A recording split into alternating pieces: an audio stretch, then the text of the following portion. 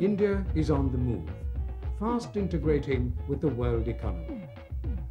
However, the foundation of India's democracy lies in its people, their efforts to improve the quality of life and their determination to fight injustice.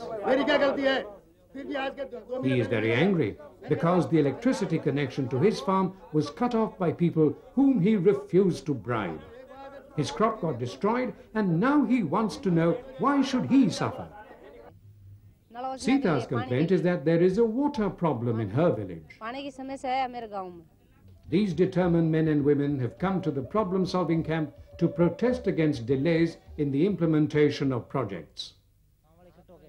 Gabor Singh has come with 60 other residents to demand the posting of a teacher and a bus connection.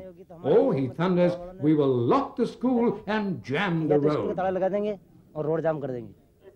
A recent phenomenon, these camps, attended by officials and the elected representatives of the people, aim to redress people's grievances.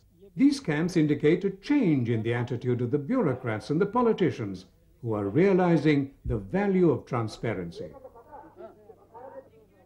Villagers in Rajasthan have also stepped up their demand for the right to information about funds earmarked for development. But not everyone is able to demand information.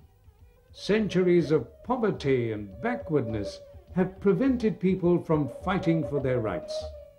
However, their entry into the world of letters was like piercing the vicious circle of illiteracy, poverty, and deprivation.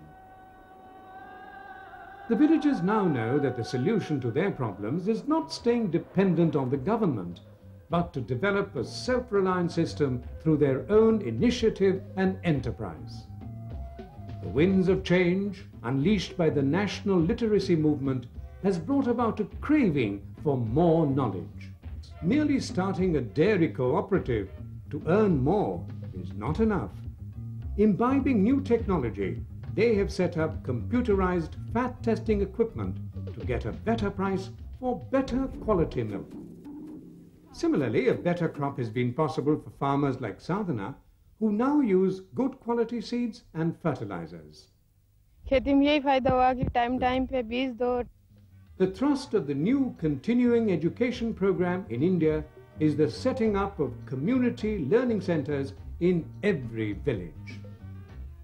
The learning centers serve as a vibrant meeting place for villagers, exchanging information, enriching their knowledge base, and getting ideas on income generation projects. Skill development workshops and training programs are also organized.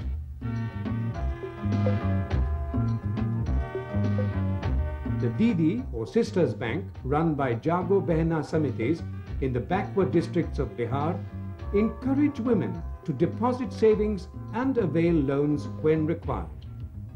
These groups of women are also a support to one another in times of distress. Also, neo-literates like this mother and daughter, wanting to pursue learning beyond basic literacy to acquire qualifications equivalent to that available under the formal schooling system, can do so through equivalency programs.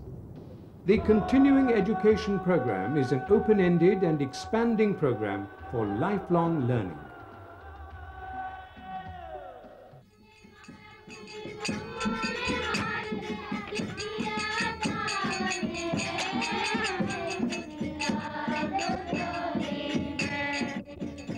and it is a challenging task.